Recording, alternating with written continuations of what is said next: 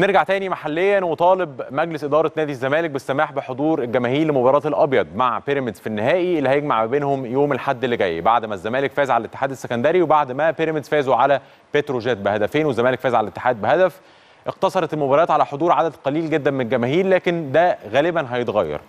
التقارير بتقول إنه كان في اتجاه لإنه استاد اسكندرية هو اللي يستضيف لقاء النهائي ما بين الزمالك وبيراميدز يوم الأحد.